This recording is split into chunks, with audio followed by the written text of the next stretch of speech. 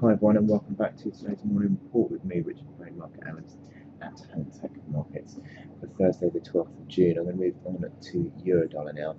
And despite the fact that uh, sterling continues to appreciate, Euro is under pressure still. There's no real sign of any any significant recovery going on. I mean, over overnight we haven't yet broken below yesterday's low, which I suppose is a is a bonus.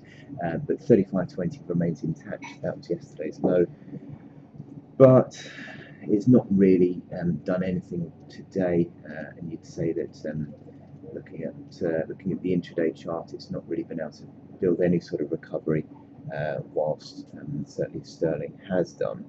Um, 35, as I said, 35.20 was yesterday's low. It's yet to breach that, but it certainly doesn't necessarily mean that's not going to happen.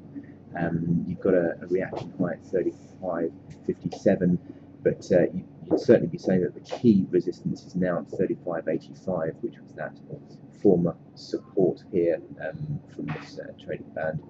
Um, and I think uh, any sort of recovery you get, I mean, be it maybe towards that 35 57 mark is probably uh, a chance to sell uh, today. I mean, you've got all these momentum indicators on the intraday chart, negative configuration, just really unwinding that oversold position.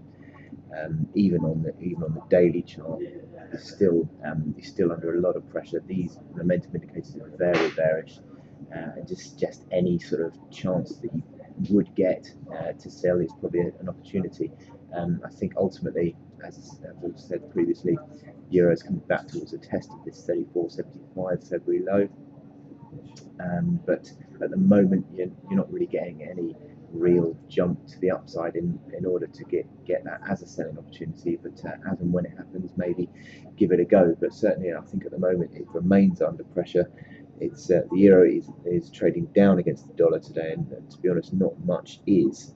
Um, certainly, um, sterling is up, uh, Kiwi dollar up, Aussie dollar up, uh, but euro is not. So um, any sort of jump you do get in this uh, euro chart today, I think, is a chance to sell.